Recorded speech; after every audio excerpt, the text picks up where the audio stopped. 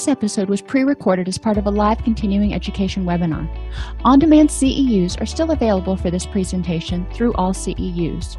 Register at allceus.com slash counselor toolbox.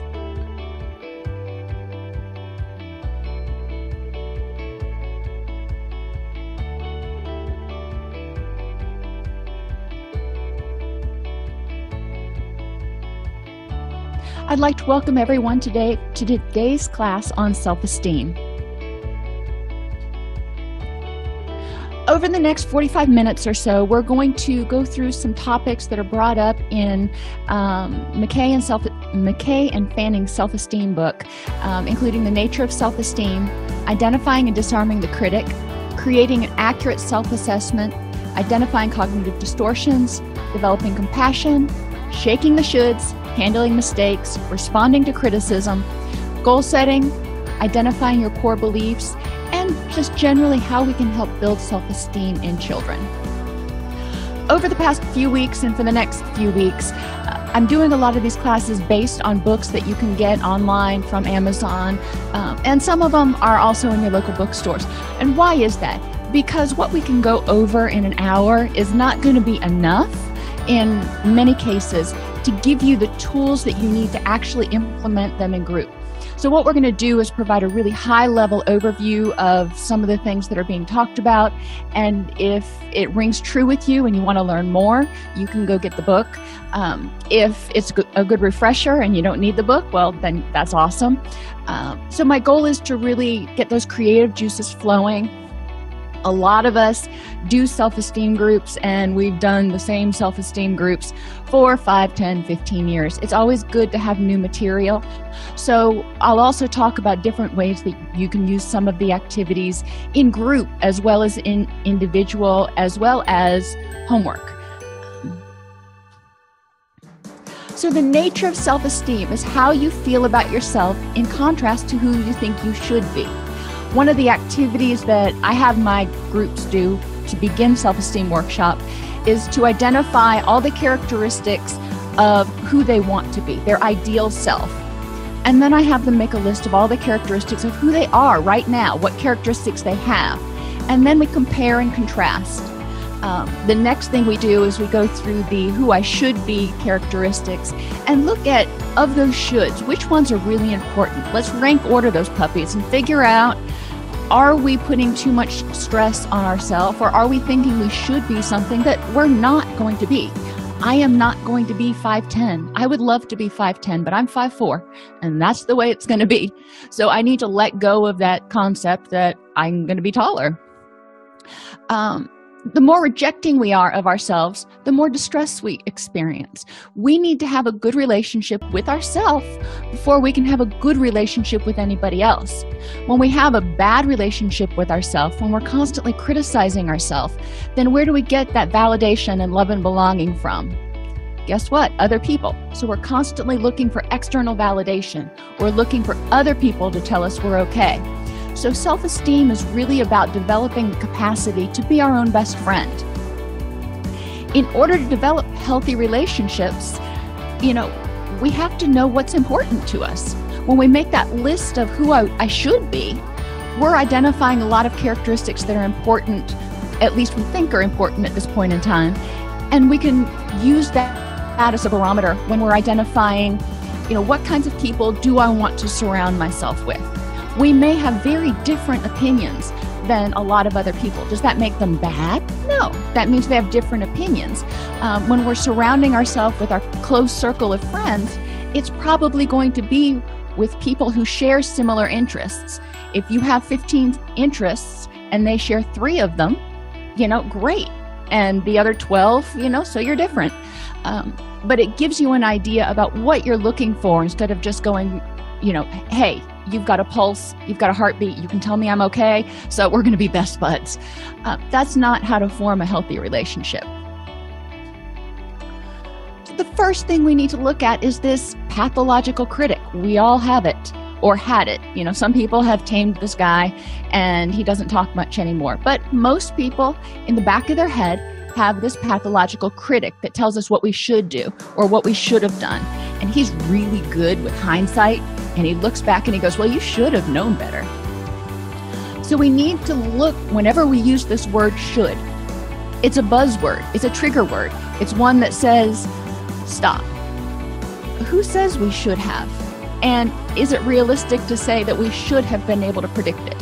Um, should is one of those words that almost always puts additional stress on people. So I like to, them to really start focusing over the course of a week or a month on how often they use the word should.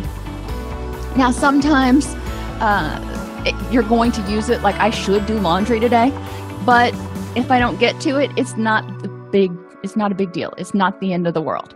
Um, so there are times that you're going to use this word that are not necessarily uh, devastating or harmful to your self esteem. You can change the word should to I would like to if you want to go from a strictly CBT perspective and start changing your verbiage. Um, the origin of the critic. When we're little, we are exposed to conditions of worth. We're given praise for things that we do well that other people think we should do well because our parents think we should behave in a certain way. So when we behave in the way that they expect or they want us to behave, we get praise, we get um, luxuries, we get some freedoms. When we don't behave that way, if you've got somebody, you know, paying attention or lording over you or whatever you want to say, um, then there's generally a punishment involved. And this doesn't go away just when we move out of mom and dad's house. We have conditions of worth put upon us when we are in school if you do your paper to these certain conditions, then you'll get an A. We have conditions of worth put upon our work at our job. If you do these particular behaviors, then great. If you just come up and come to work and sit there and you've got a pulse, you may be a wonderful person, but you're going to lose your job. So we need to look at conditions of worth. Yes, we can't have a job without a job description. Uh, we have to have rules, we have to have expectations. Part of it comes from um, identifying, and we'll talk about this a little bit later, whether we're taking the conditions of worth and applying them globally, um, or we're looking at specific characteristics. So, why do we listen to the critic? Because uh, we always have when you were little, you didn't think to challenge mom or dad and go, why should I do that? Or maybe you did, but generally there were probably negative consequences. Um, so we've learned through time often not to challenge the critic. As we grow up, and as we become more free and we become more independent, a lot of times we don't challenge that. We still hear that parental figure in the back of our head. We still hear oh, your best friend in high school, whoever those critics are, the hecklers in your gallery, you still hear them. And we want to be appreciated. We want to fit in. We want to be part of something. So a lot of times we listen to the critic instead of going weighing the options and saying, okay, where I want to go from here. Is this getting me closer to where I want to be or further away? the role of reinforcement really plays in here, and the book encourages people to look at what behaviors do you do now are reinforced and what behaviors are punished, and what behaviors that you want to develop. How and are those reinforced? And is that really what you're looking for? You know, if one of the characteristics that you have in your ideal self is to be a powerful CEO, okay, so, what are the rewards for that? And are those rewards important to you? Most people don't take it to that second step when they're setting their goals. They're like, yeah, I want to be a CEO. I want to be powerful. I want to earn a big paycheck. But then when they start looking at, you know, why is this important to me in, in terms of in relation to my other goals, it may not make as much sense. Catching your critic. We need to teach people to listen for that heckler. I mean, think about basically life is a, you're on stage and you've got a heckler in the gallery. Paying attention to when that person talks and instead of automatically changing direction, catching that person and going, mm, No, you know, I don't know that I believe what you're saying, or I hear what you're saying. Let me think about it. Because sometimes the critics have a point you know sometimes they tell us something that we may not want to hear but they may have a point and we can take that and do something with it other times we hear that critic and we go you know this isn't something that's important to me maybe you know when i was growing up this was something that my family told me i should do. But now that i've formed my own identity this isn't something that's as important to me now. Um, unmasking the critic's purpose. What is your critic trying to do? What is your critic trying to tell you? And figuring out um, where you want to belong. Because your critic is basically saying if you want to be part of this group if you want to be accepted you need to do these things now the paradigm shift is to say well what if i form another group who accepts me for who i am oh there's a concept what if i accept myself and i don't need others to tell me i'm okay that's a new concept too at that point we start talking back to the critic and going I hear what you're saying, and that may be a good choice for you. However, it's not for me. And hopefully, you know, you can do this all in your head, but if you have these negative thoughts coming up, if you have these um, heckler moments, even being able to say in your own head, not right now, I need to do something else, or I can't deal with this right now, um, and, and shut the critic down. Then you can go back and re examine whatever was going on, on later. Accurate self assessment is another huge part of self esteem. A lot of people have never really sat down and looked at their good qualities. They're so busy focusing on how to fix their bad qualities or the qualities they don't want. They haven't focused on their strengths. So let's look at those strengths. What do you bring to the table? Because everybody brings something. Listing your strengths and weaknesses. So let's start listing those. And then let's have a paradigm shift and look at weaknesses in terms of areas that you can improve, things that you can learn about, or areas in which you realize this is not something that's a strength of mine, so I'm going to rely on someone else who has that strength. Uh, when I used to write grants, I was the main grant writer. I could take a grant idea and I could see how it would interface with our organization. And I could write this beautiful global meta concept laden proposal. But when it came down to actually implementing it, once the grant was already written, I was done with it. You know, all the nitty gritty details. I am not a detail person. And I realized that. So I made sure that you know, the people that were in my team were able to handle or help me handle the details. You know, if I had to handle the details, I needed somebody that I could count on to go, you missed something. And I miss things. It happens. So understanding your strengths and weaknesses and accepting accepting wow, accepting them just as fact. It's what they are. It's not good, it's not bad, it's just these are your qualities. And you know, nobody's perfect. So, using that and developing a new self description that's not so laden with criticism, you know, identifying your weaknesses and figuring out how that fits in the big scheme of things. I personally am not at all skilled when it comes to like handyman type things, when it comes to woodworking. So, is this important to me? Not really. You know, I know that there are other people that have those skills, and have I tried it? Sure. Have I found it to be exceedingly frustrating? Yes. So, as far as the use of my energy, I've decided that that's not a necessary part of my self description to be able to completely remodel a house. Um, so, hel- helping people develop a self description that is realistic and it's based on their strengths and maybe, you know, honing in on some weaknesses and, and developing those a little bit more. Celebrate strengths. Focusing on things that people don't normally cel- celebrate, like optimism.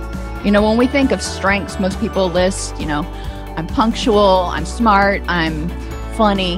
But we look at some of the things like compassion and creative, and there's a whole list of different strengths that people have that are necessary.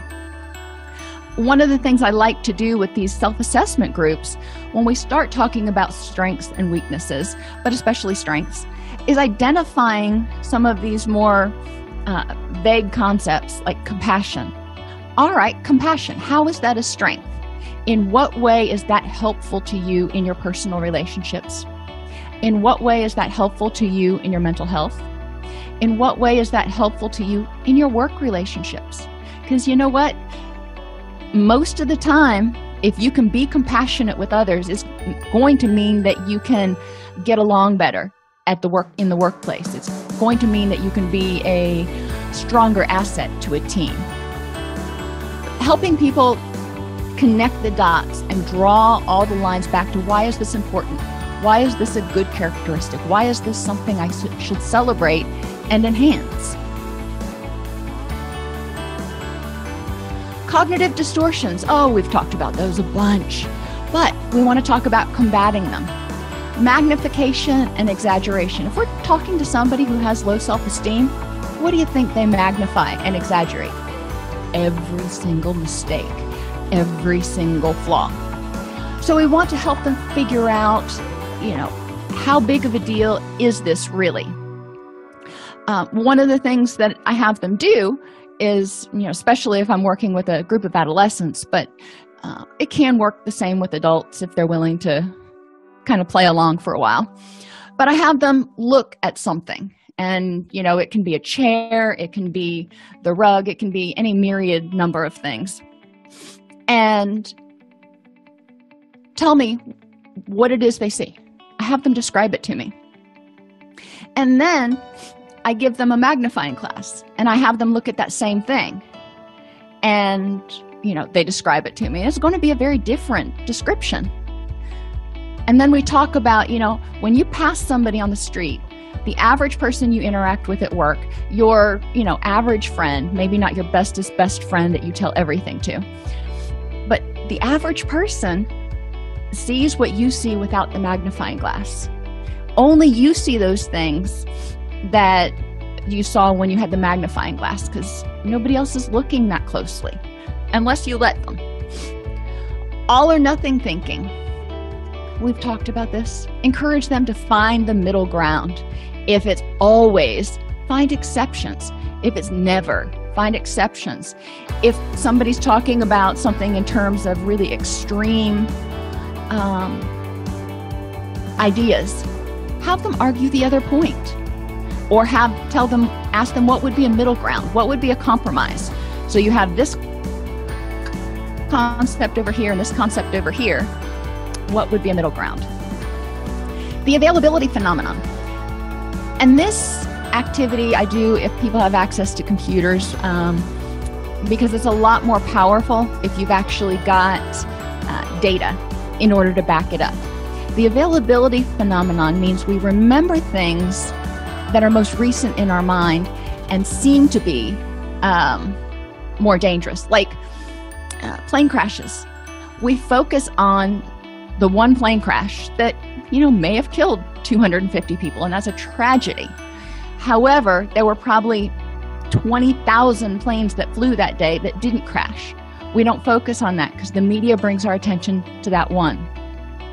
When we talk about officer involved shootings, um, we focus on that one and extrapolate and go, you know, they must be, you know, pretty free and loose with the gun when we don't take into consideration sometimes that, you know, maybe there were 40,000 officers on duty that day, and there was one officer involved shooting.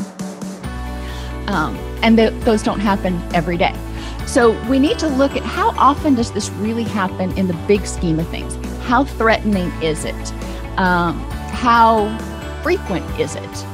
Even something like, you know, I want to have blue eyes, and everybody's everybody else has blue eyes. Hmm, let's take a look at that. Let's look at the data and see what proportion of people actually have blue eyes? And, you know, yeah, there may be some people that are very salient in your life that have blue eyes. Um, but let's look at how often it actually occurs. Emotional reasoning, encouraging people to think before they make decisions. Am I making these decisions? Am I judging things based on how I feel? I feel scared, so this must be threatening. Or am I basing it on fact? I feel scared. Let me look around and see if there's anything to really be afraid of.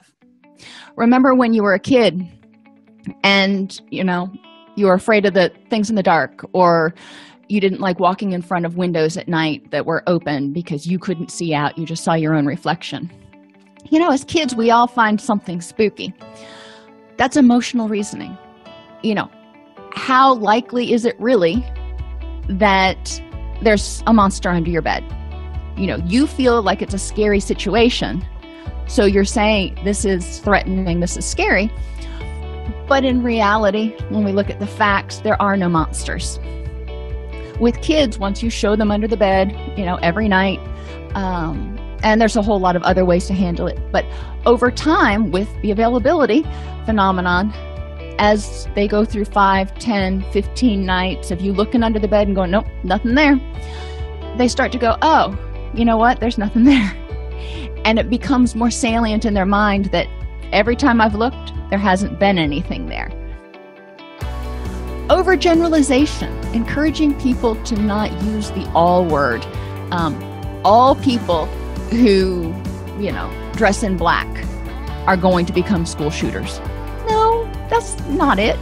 Uh, let's not overgeneralize um, about people or about situations. Every time I go to make a public speech, I end up getting sick to my stomach and not being able to do the speech. Okay, let's look at that. You know, have there been times when you've been able to speak in front of people? Maybe not 50, maybe it was just five. And then, you know, let's talk about what may be happening. The other thing that happens with overgeneralization a lot of times is you create a self fulfilling prophecy.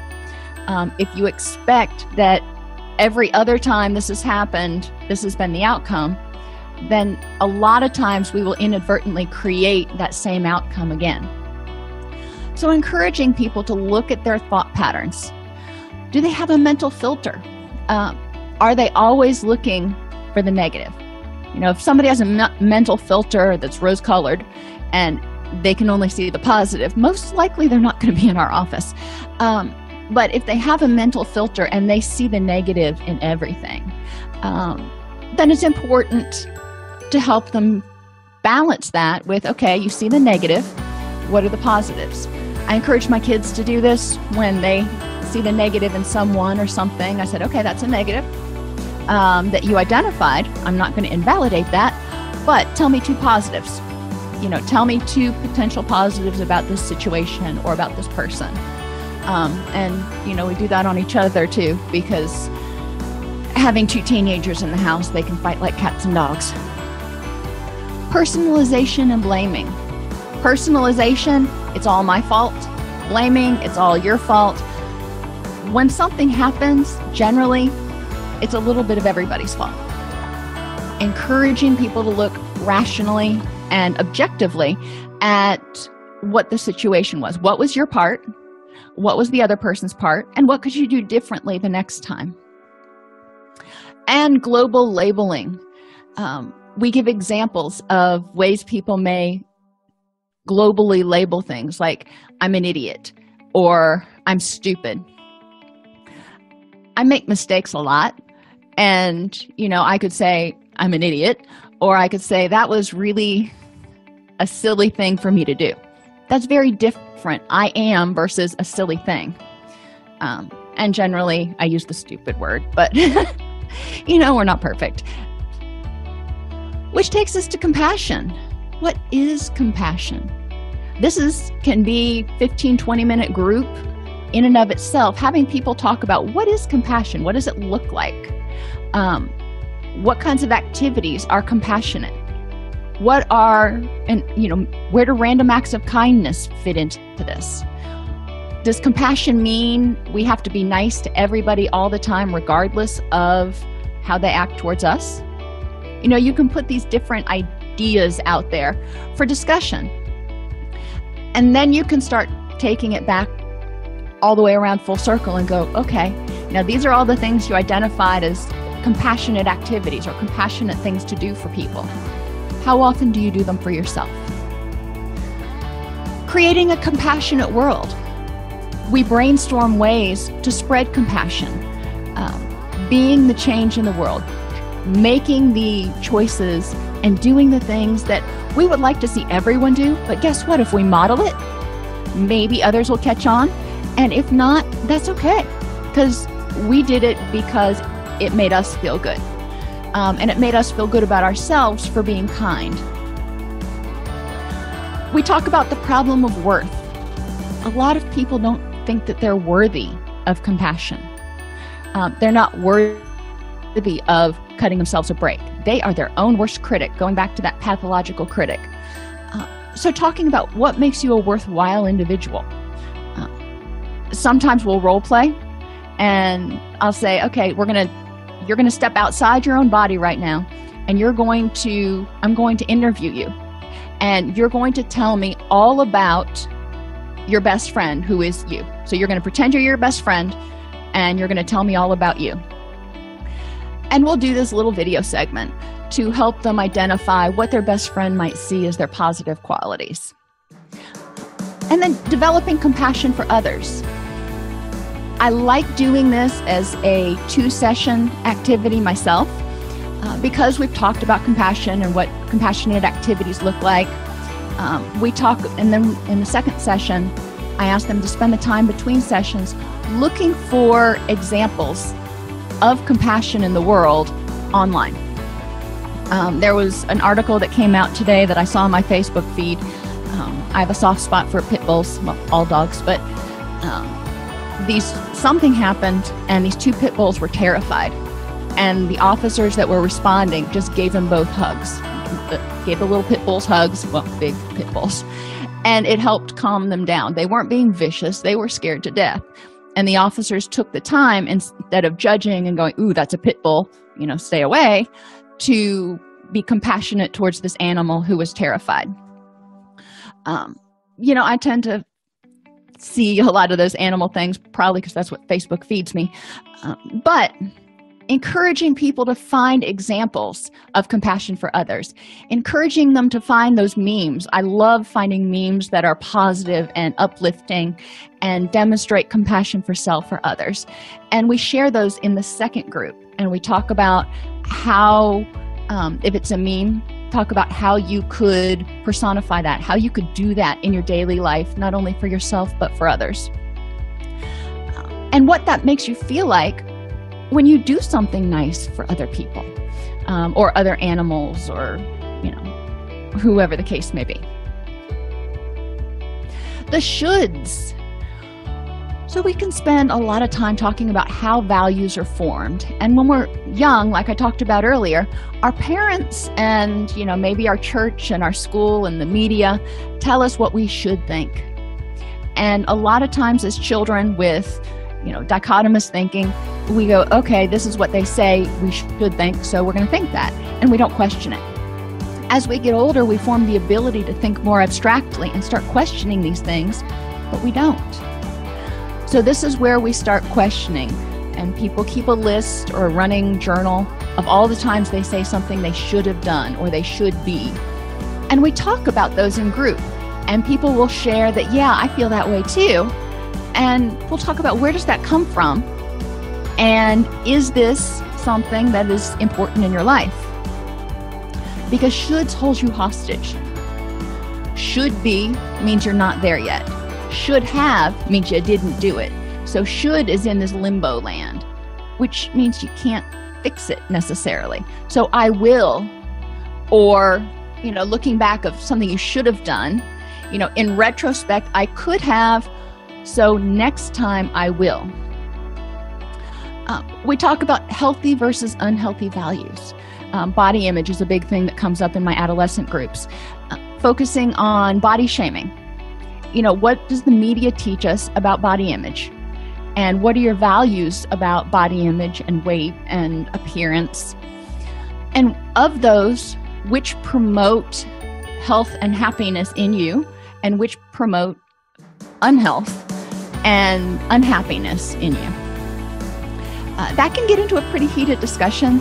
It obviously tends to go better if it's a uh, all female or all male group, coeducational groups, especially with adolescents. uh, wouldn't advise it.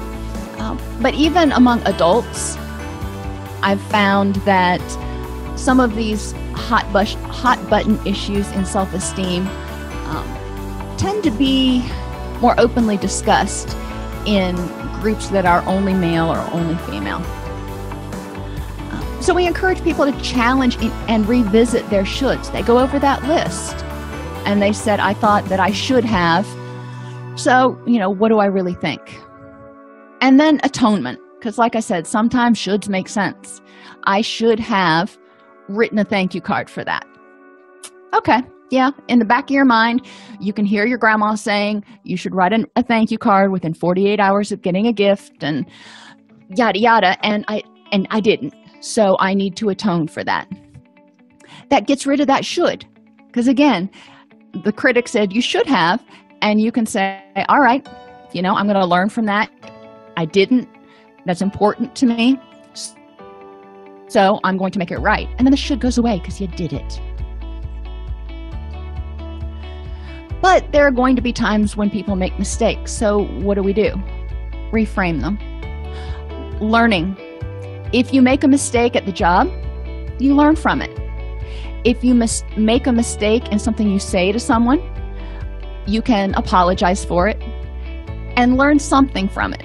You know, maybe you said something that was insensitive.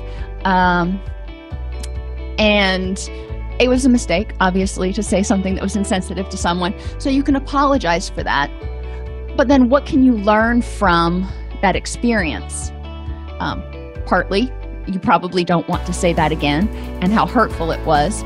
But you also might learn something about yourself, about what prompted you to make that statement in the first place. And you might learn something about yourself in terms of behaviors that you don't normally notice you know, with the election and everything just having passed, um, I've become much more aware and maybe hypersensitive, some would say, to people name calling. And you know, so I don't want to see that on my on my wall. I don't want to see that on my Facebook boards. I don't want to hear that around my house. But then I also have to look at my own behavior and go, I have you never engaged in name calling? And I can't say that I have never engaged in name calling. So it's for me to learn that, you know what, that's not okay and move on from it. So taking mistakes and turning them into learning activities, turning them into ways to make yourself better. Um, again, people can keep a log of different mistakes or they can share their most embarrassing moment, or there's a lot of different ways that you can look at mistakes. Um, making sure that there's a certain amount of awareness. People may not be aware when they make mistakes. So, you know, in order to learn from them, you have to be aware that you made them. If somebody's always covering for you and you don't know that you made a mistake, then you're not going to ever change your behavior. So it's important that whether it's ourselves or our children or our employees or our clients, when there's a mistake, and you know, if it's not one that we made, um, you know, we may cover for them, we may try to smooth things over, whatever we do, but then we've got to go back to that person and go, hey, we need to have a little chat here. If you do it, then obviously you have to have a little chat with yourself about you need to become more aware of your own behavior and how that affects other people, which leads into raising your mistake consciousness. The other thing with raising mistake consciousness involves understanding that other people make mistakes too. That's a new concept for a lot of our clients. They're so busy beating themselves up and focusing on ha- the things that everybody else does right, they don't see the mistakes. And I'm like, you know what? I wonder how often that person focuses on their own stuff so much they don't see your mistakes. Oh, you know? we may be more sensitive. That goes back to that whole concept of personalization. We may be more sensitive to our mistakes and think it a big think them a bigger deal because they're very salient for us, whereas somebody else may not even really notice. Um, you know, when you're giving a speech, maybe you have everything planned out and you forget a segment and you just ad lib. Most people probably didn't even notice unless you stopped and went wow i forgot. Um, um, but if you just kept going most people probably didn't notice the mistake. Responding to criticism. We all make mistakes we all are going to receive criticism some of it is constructive and some of it is on point but not constructive so being able to hear criticism take it in mull it over, take what's important, take what's useful, and leave the rest. You know, there's been a lot of criticism lately, you know, flying around the media and, and Facebook and whatever else. But reading it, taking it in, and going, this is important to me, this is not. Or this resounds with me, this does not. And figuring out how to respond to that. Do we need to respond to every criticism?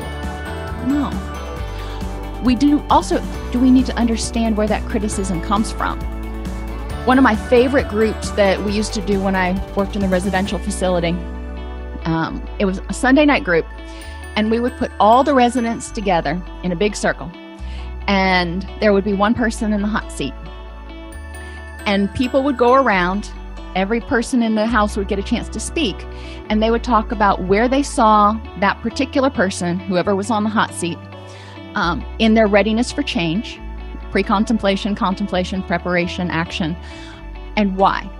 It had to be objective and it had to provide feedback uh, um, of a nature that the person was able to do something about. It's not, you've just been lazy this week, because that's not objective, useful feedback.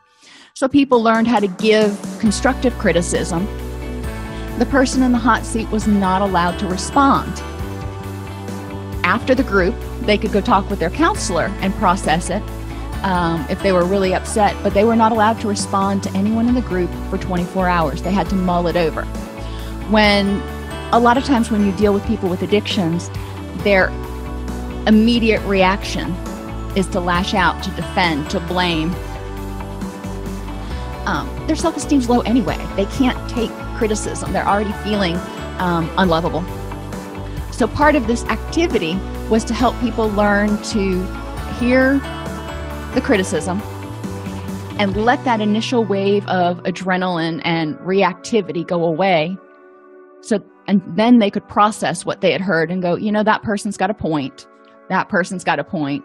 These six over here, no, I don't see what they were saying. And they learned how to take the constructive, do something about it, and leave the rest and we would talk about well these six people who you say have no basis in their in their statements why do you what made them make those statements what brought them to that those observations which is another way we can help them see different people's perspectives um, and understand why some people may have different reactions to situations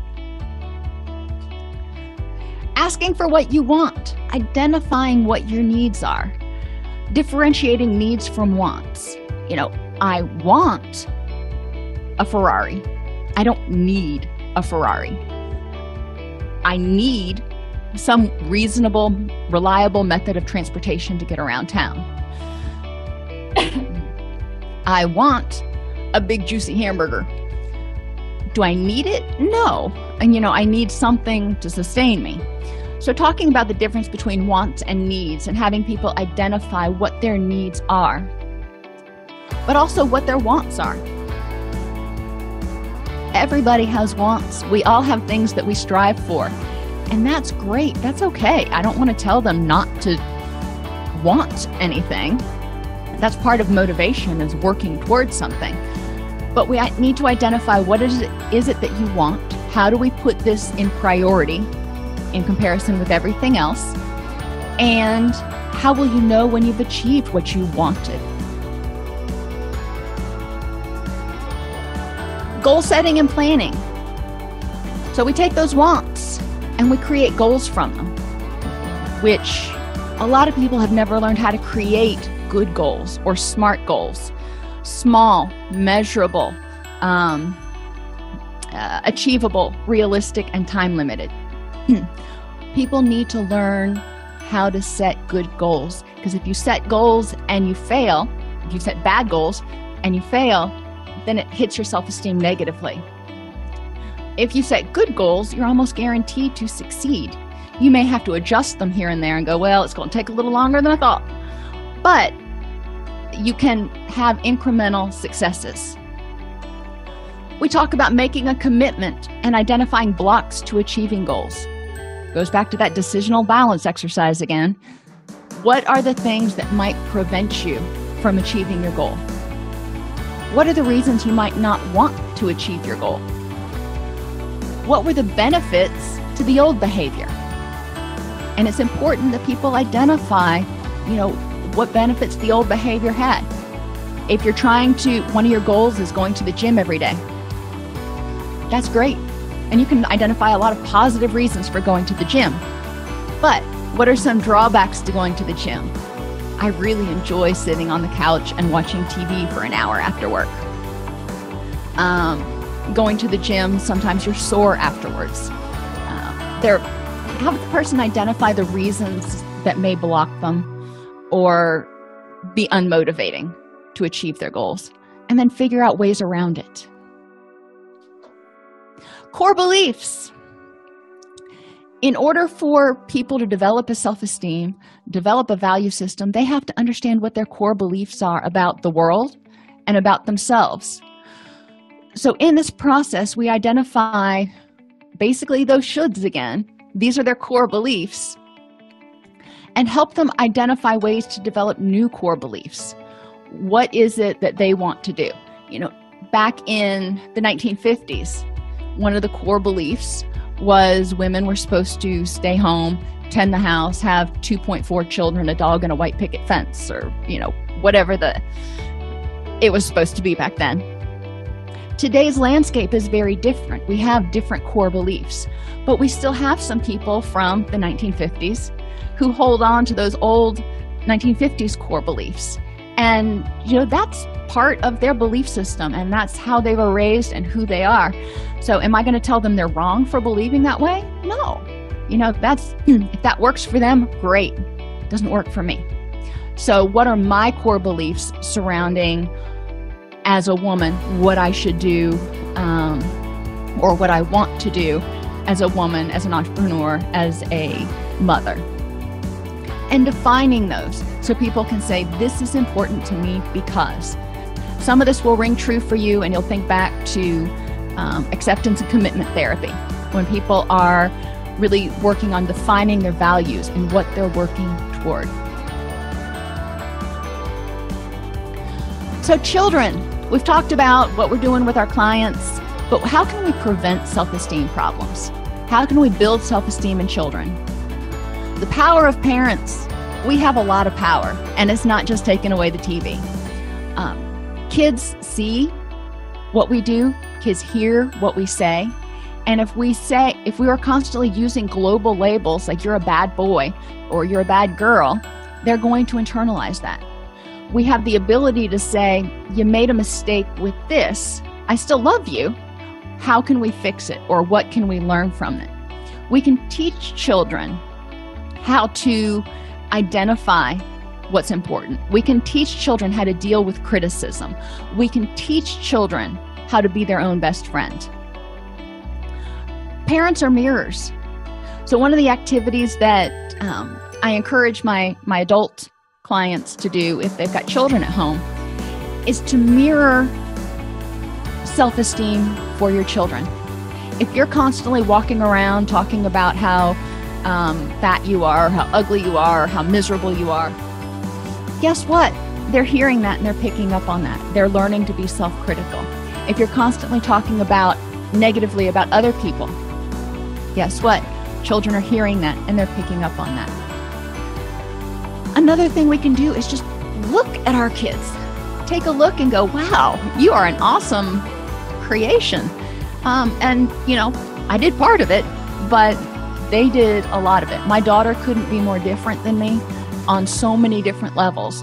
And I look at her every day and I'm just stunned at the strengths that she has. My son is the same way. Uh, so telling them regularly, these things about you are awesome. These are the things I appreciate. Uh, listening to them when they say whatever their ideas are instead of shutting them down if or when they say that they're upset instead of going you really shouldn't be upset about that. Listening to them validating their feelings imagine that validating their thoughts and their feelings and going okay now where do we go from here? Um, my daughter is you know kind of in turmoil with her best friend right now. Her best friend is not one of my favorite people. Um, you know so as a mother i can see what's going on and i can see what's hurting hurting her you know making her heart hurt. And it kills me. However that's a decision she needs to come to on her own about what she's going to do about that relationship.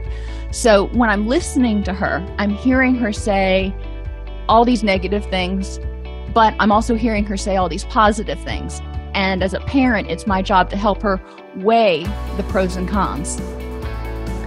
Uh, encourage the language of self-esteem that positive affirming language the language that says okay i made a mistake i'll learn from it. Nobody's perfect. Helping kids create some sort of a mantra that they can tell themselves because we've talked before about how adolescence everything seems like it is a mountain. There, there are no molehills in adolescence everything seems like something people are going to remember forever. Um, so we talk about how to talk nicely about themselves how to remind themselves of their strengths um, and how to handle when they feel like they've done something wrong or made, made a mistake. But we also talk about how to be nice and compassionate there's that word again to other people. Discipline. You wouldn't think this would come in a self-esteem class would you but it does. We don't want to say life is a free-for-all go for it. Kids want structure. And there are going to be some things that you know as parents we've got to set limits on. Candy. If your child is six years old and they come home with a great big old bag of halloween candy and they want to eat it all that night it's probably not the best thing to do. Um, so helping them learn discipline and self-control so they can learn how to make choices that are thoughtful instead of just impulsive and reactive. Encouraging autonomy. You know by the time the kid gets to be 10 11 12 then you can look at them and we're going to stay with the halloween candy analogy. You can look at them and go okay what do you think are the consequences if you eat this whole bag of candy right now and encourage them to make educated decisions. Obviously, as parents, we have to protect them from harm, but there are some times that, you know, you can give them a little bit of wiggle room because it's not going to be totally detrimental. And again, model self esteem, model positive self talk, model identifying your strong characteristics, but also model identifying that you have weaknesses you make mistakes you have character defects but it, they those things don't define you.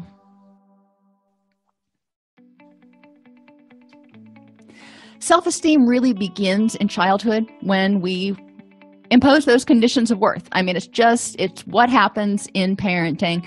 I would love to think that we could provide unconditional positive regard to children from the time they're you know breathing until the time they move out but at a certain point there are going to be times where we institute conditions of worth um, where we institute rules and we tell somebody you need to behave this way. Um, i don't approve of you behaving another way. But we also need to talk about it in terms of behavior. It's not that i don't approve of you as a person i don't approve of that behavior. Encouraging children to separate the difference so they can say i'm a good person even if I make a mistake. It's imperative to help people separate strengths and weaknesses from who they are. Yeah, you have amazing strengths, but if all those strengths were to go away, who are you and why are you amazing?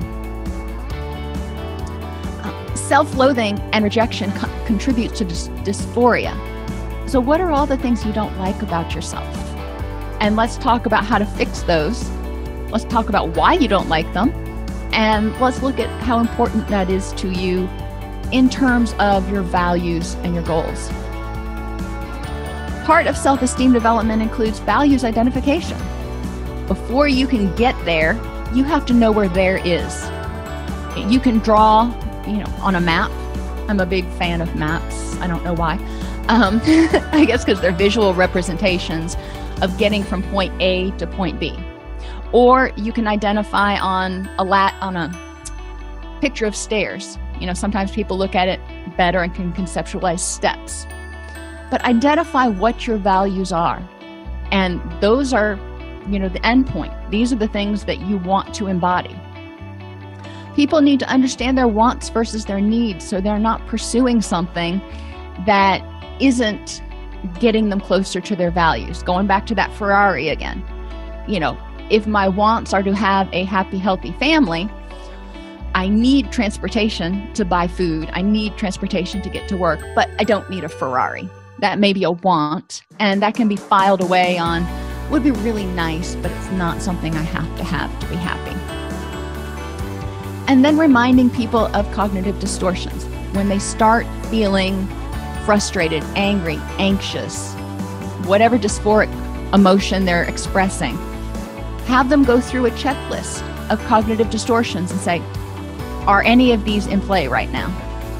Once they get used to that, once they've kind of mastered, most people use the same four or five, whatever works or doesn't work for them, um, then they'll be able to start doing it more automatically without having to look at the list and go, okay, I am using emotional reasoning right now. How do I counter emotional reasoning? I identify the facts in the situation. So it's a long process. Self esteem is one of those sort of ambiguous things that we help people work toward. But ultimately, it comes down to what is going to make you feel good about you? What is going to make you feel like I'm all that and a bag of chips? Thank you very much. Um, and and that those are the things that you can work toward. If you're looking for visuals you know i like to use metaphors in my visuals. So i have had people before um, i take a picture of literally a bag of chips with the chips spilling out and i have people identify strengths on the chips because that's where they want to be. Um, and you know it can work in an art therapy class it can work for something for adolescents um, and sometimes it can work in an adult situation. So there are a lot of different ways you can go about communicating the same concepts. Now, in the book um, by McKay and Fanning, they do give you examples and activities to use for all of these different concepts. So um, you can also go on books.google.com and I believe there are excerpts from the book on there so you can see what some of the examples are that they gave. Um, and it's, it's another resource. It's another place that you can turn to when you're having a brain freeze about i've got to do a self-esteem group today. What am i going to do? Um, or i need to do a group on identifying values. What are some activities that might be fun for this group? Because we don't want to just sit there and lecture the whole time. We don't want to just sit there and go all right now everybody share um, I like to do activities. I like to do things where people can apply it to what's going on with them, but they also have fun because it makes group go by a lot faster for everybody. Are there any questions?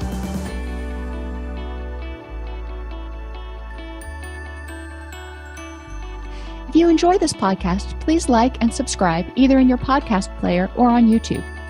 You can attend and participate in our live webinars with Dr. Snipes by subscribing at allceus.com slash counselor toolbox. This episode has been brought to you in part by allceus.com, providing 24-7 multimedia continuing education and pre-certification training to counselors, therapists, and nurses since 2006. Use coupon code Counselor Toolbox to get a 20% discount off your order this month.